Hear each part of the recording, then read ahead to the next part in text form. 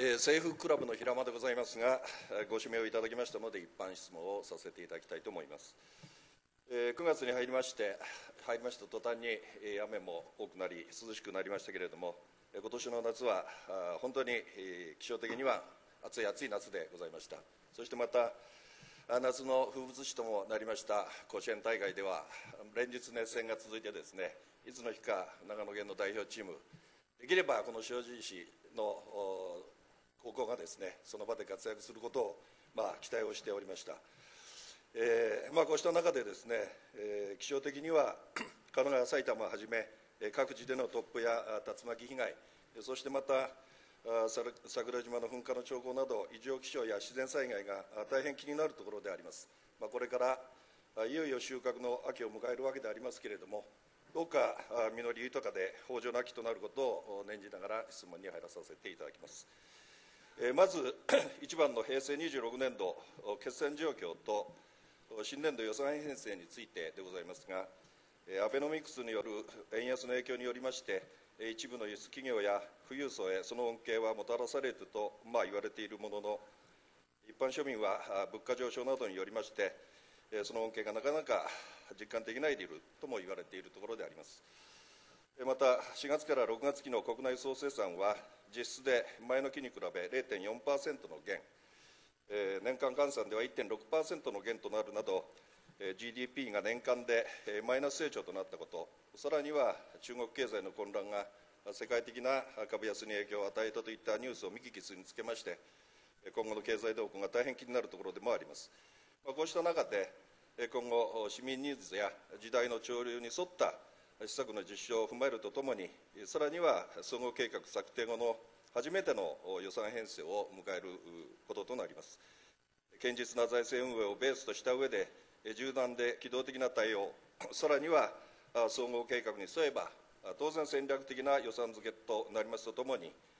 同時に市民の皆さんが要望していることを的確に捉えたバランスの取れた予算配分が求められることになります。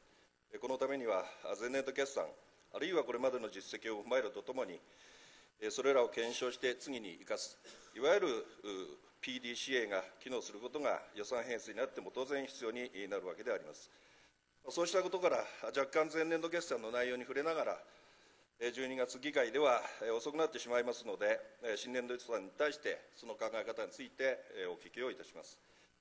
まず、決算の特色と課題についてでありますが、平成26年度決算について、前年度決算との比較のほかに、まあ、自分なりに参考として10年前、平成17年度の決算内容と比較をしてみたところであります。決算総額は平成17年度が歳入では252億6900万円よ、まあ、これに対してですね26年度は294億3600万円よということで、まあ、実に41億6700万円の増となっているわけであります。歳出では17年度249億450万円余に対して26年度は287億2000万円余でこれも38億1500万円余の増ということになっております、まあ、10年前に比べますと歳入歳出とも、まあ、40億円近く決算規模がまあ大きくなっているということでございます、それぞれの年度でですねえー、特色や凸凹がありますので、まあ、一概には言えませんけれども、えー、この主な内容を見てみますと、目立ったところでは、えー、歳入において地方税が11億7100万円余の増、地方消費税交付金が1億3000万円余の増となっています。しかしこれはあの26年度の特色として、まあ、法人税の増、あるいは、えー、消費税率のアップの関係もあって、特に26年度が増額となったものでありまして、25年度まではあまり変わらない状況であります。また地方交通税につきましては、1億5800万円よ増えておりますけれども、まあ、大きく言えば10年前とほとんど変わっていないということであります。ところがですね、抜群に増えているのが国庫支出金及び都道府県交付金であります。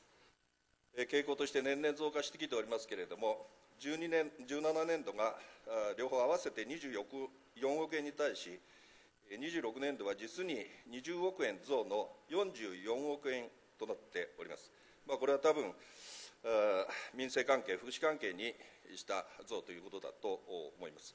また歳出につきましては、目的別で見ますと、総務費が10億1400万円増の40億7600万円よ、教育費は5億4100万円余の増、32億4100万円となっていますが、やはりあの歳出でも民生費が33億1500万円余増の全体では88億1300万円、これが特に目につくところであります。同様に性質別にこれを見ましても、扶助費では18億2000万円が37億6300円という300万円ということで、まあ、倍以上になっているということでございます。一方でですね、土木費は17年の44億3500万円から7億3700万円減のですね36億9700万円に縮小をしているわけであります。全体に占める割合からいたしましても、構成費が17.8%から12.9%へ約5ポイント減少している状況であります。えー、まあ、こんな見方をですね自分なりにしてみたわけですが、まず26年度の主な事業の特色とですね成果あるいは課題について、えー、これを財政サイドとしてどう捉えているのか、まあ、決算資料、説明資料をいただいてありますので、主要なものについてお聞きをいたします。次に 財政運営上の課題でありますが、財政指標等を見ますと、ここ2、3年落ち込んでいた財政力指数もわずかでありますが、まあ、回復をして0.635、えー、でありますけれども、参考までにこれも10年前を見ますと、0.634でありますので、まあ、ほとんど変わっていないという状況、また経常収支比率にしましても、近年の中では若干改善してきておりまして、平成26年度は86.8%ということでございますが、まあ、10年前の81.3%に比べれば5.5ポイント、まあ、上昇していると、こういう状況でございます。えー、こうした財政指標上から見た26年度決算に対する評価とですね、課題があれば、あどういったことかお聞きをいたします。次に新年度予算編成の基本的な考え方についてでありますが、先ほど申し上げましたとおり、前年度決算や市民の皆さんの要望に基づいて、新年度予算に生かしていくことが必要なことは言うまでもございません。実際は今年度も半分が過ぎておりますので、この実績等も踏まえての予算編成になると思いますけれども、基本的な考え方とスケジュール、特に実施計画との関係などについてお聞きをしたいと思います。また第5次収支総合計画が策定されて初めての予算編成となりますが当然戦略性を持った総合計画に沿った形での予算編成になろうかと思いますがその見込みについてお聞きをいたします。次に大きな2番の安全で安心なまちづくりについてであります。まだ記憶に新しいところでございますけれども本年2月11日東郷の大堤公園内の池で保育園児が溺れ翌日亡くなるという非常に悲しく痛ましい事故が発生をいたしました。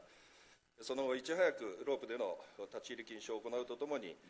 市内の農業用ため池や調整地の56ぐらいですか？その施設に看板やフェンスを設置し安全対策と注意喚起を行ったということ。そしてさらには3月補正で対策費を計上したという経過がございます。まあ、いわゆる危険箇所、道路関係では見通しの問題や歩道、交差点、また河川、水路、ため池、あるいは防犯の問題として公園の照明や街路灯など、まあ、きりがないわけでございますけれども、全体的な見方で結構ですが、これらの危険箇所の把握についてはどのようにされているのか、またその箇所の状況等についての検証、確認と検証、それと危険度のランク付けから予算化についての手順はどうなっているのか、お聞きをいたします。次に、三野市内公共施設と環境整備についてでありますけれども、これも清掃、永全修繕、草取り、あるいは枝払い等々たくさん、うん、ございますが、範囲が広くなりますので、えあえてここでは市街地の歩道の草取りという、少し細かな話になりますけれども、どのように行われているのかお聞きをいたします。最後の質問になりますけれども、新体育館の建設についてであります。これまでの経過があって、今回、の市民アンケートに至ったわけであります。えー、配達された世帯数が2万6387世帯、回収率は38.84%で、1万トンで249世帯から、この内容が建設した方が良い、4876で47.71%、建設しない方が良い、これが4581で44.82%、まあ、分からないが764で7.47%というふうになっております。えーまあ、さあの賛否といいますか、その差が295、2.89ポイントという非常に接近したものでありました。私も市民の皆さんのご意見を、まあ、お聞きをしたりしましたけれども、まあ、実にさまざまな意見がございます。古くなっているのでいるんで、立て直す時期に来ている。一方では耐震工事もしてあるんで、現体育館をもう少し使ってもいいのではないか。その他建てるにしても、もう少し小さなものでも良いのではないか。建設しないという意見の方でも、将来的には、ま、建て替えは必要になるだろうと。実に入り組んでですね様々であります。さらに新体育館を建てるか否かということだけで、え、細かな住民側から見ればですね細かな説明や情報が少ない、まあ、蚊帳の外と感じている人もいればですねそもそも市の市としての体育振興に対する考え方いわば理念がないのではないかあるいは市や議会できちんと考えれば良いのではないかという意見まであってですね市民の皆さんの考え方が、まあ、服装に服装を重ねているという状況であります。そうした中で、市長からは先日の特別委員会において、建設の方向で進めたい旨の発言がございました。これまで検討してきた長い経過に比べて、まあ、実に素早い判断でありますけれども、市長がこのアンケート結果をどのように捉えられ、どういったことから、まあ、どういった理由からですね、建設と決断されたのかを、市民の皆さんにも承知していただく良い機会でありますので、まずもってお聞きをしたいと思います。次に、いざですね、まあ、建設ということになれば、えー、財源として使いたい合併特例債の期限は平成32年度ですから、32年度あたりの建設になろうかと思います。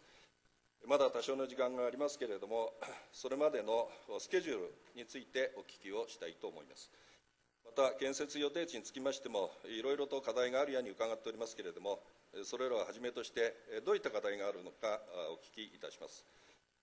えー、そして実際にですね建設を進めるにあたってはアンケート時に提案した面積事業費等の内容が基本線と、まあ、言いますか上限という見方を市長は示されました。そこで改めて、えー、全面的な見直しとまでは申しませんけれども規模や設備等の内容 スケジュールやらやらその他の課題があるわけですからこれを検討したりまた市民参加による塩尻らしいコンセプトとするために新体育館建設委員会的なものを設けるのかどうなのかお聞きをしたいと思います。以上で1回目の質問を終わります。